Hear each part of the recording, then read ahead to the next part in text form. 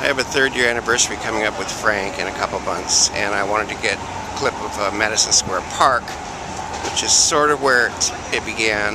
Um, and I walk through this park every day on the way to work and back. We had dinner on 8th Avenue, and then we came back to 23rd and 5th because I would catch the subway here going to Astoria. And uh, this is the park. This fountain here. We walked around the park.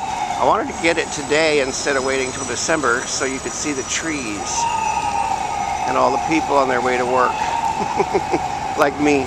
But I stopped at a bench.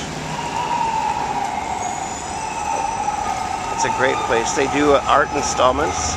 Like there's one over there, but I'm not going to take the time to walk all the way over there. They also have um, concerts in the park here. I mean, it's just a great little park, little neighborhood park. Madison Square.